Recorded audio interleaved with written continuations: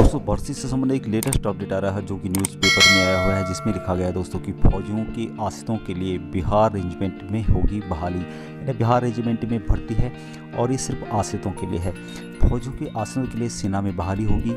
Bihar regiment के केंद्र Danapur cantt ने इसके लिए भर्ती प्रक्रिया शुरू कर दी है। यहाँ बहाली यूनिट मुख्यालय कोटे से फौजियों के आश्रितों के लिए की जा रही है। इसमें युद्ध विधवाओं के बच्चे, सेवारत या सेवानिवृत्ति शहीदों के पुत्र भाई, युद्ध के दौरान शहीदों के पुत्र भाई हिस्सा ले सकते हैं। बिहार रेजिमेंट के लेफ्टिनेंट कर्नल सुनील कुमार ने अधिसूचना जारी की है। तीस नवंबर को बिहार एवं झारखंड के आश्रितों के लिए भर्ती होगी।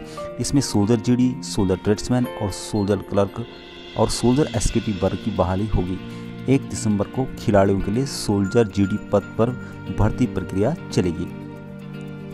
इसमें सभी राज्यों के राष्ट्रीय और अंतर्राष्ट्रीय स्तर के खिलाड़ी शामिल हो सकते हैं। तो दोस्तों, सभी के लिए भर्ती है, जो कि सैनिकों के आश्रयों के लिए की भर्ती है। तो दोस्तों, आज के लिए इतना ही। जय हिंद, जय भारत।